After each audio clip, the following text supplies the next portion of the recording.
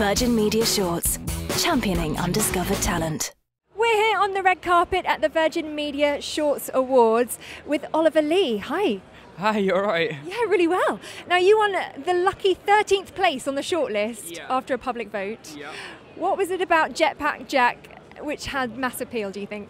I think with it being based around children, and I, I just think I just think it hit home a little bit. I just think it's quite cute, but it is quite bittersweet as well. So I think it kind of just sort of like hit something with people. Maybe I don't know. I really don't know. I don't know. Well, you've done really well to get to the shortlist. Um, most of the other finalists worked really hard to make their films to two minutes, 20 seconds. Yeah. Yours is just over a minute from the time limit. How brutal you- was it to edit? Well, I got told off a producer I work with that when you're editing, pretend you've set your rushes on fire and only save what you need. And I did, and I kind of think it could have been slightly longer now, but it tells everything I want it to, so, you know, it is what it is. And you said that the budget for the film was snacks for the cast. All those those superhero costumes kind of come cheap, right? Well, Is it simple? It's well executed and an inexpensive film. Is that the best way for new filmmakers? it's the only kind of way I know how to do right now. I think I'd really panic if someone like gave me some money. I think I'd re- that'd be a real learning curve because right now it's me, my mates. We make the costumes. All my friends are actors because I'm an actor. So we work well that way. Um, but I'm willing to have some money if someone wants to give me some. Yeah, if someone's going to give you some money, Yeah. that's always a good thing, right? Um, does your experience as a television and film actor help you when um, you're on the other side of the camera? Yeah, because I'm not technical, you know, and I'm happy to say that. Like, I don't know cameras and I don't know lenses, but I know how to talk to an actor because I, I do that every day, like at work and stuff. So, I for me, it's about getting the story right. And Simon, who's my DOP, he just sort of helps me along and sort of goes, right, this is if this is what you're after, I can do that for you, and it seems to work.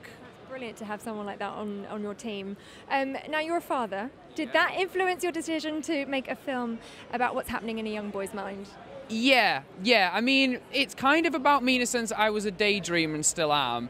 So I'd often fantasize about being like James Bond or what it'd be like to be a superhero. But what's going on in, in her mind is a huge sort of thing for me right now. She's almost three. You know, she's my main focus. So it's. It, I, couldn't do anything but a story about a child. I think. I think it was right to do that because it's what I've been thinking about a lot.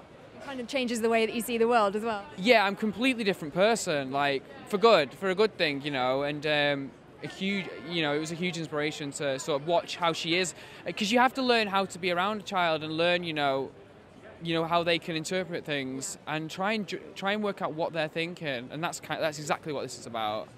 And finally, what are you going to do with the prize money if you win?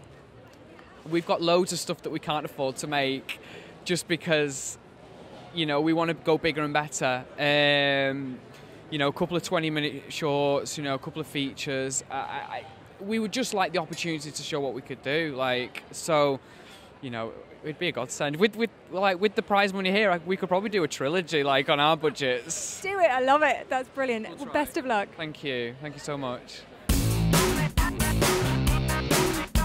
Virgin Media Shorts, championing undiscovered talent.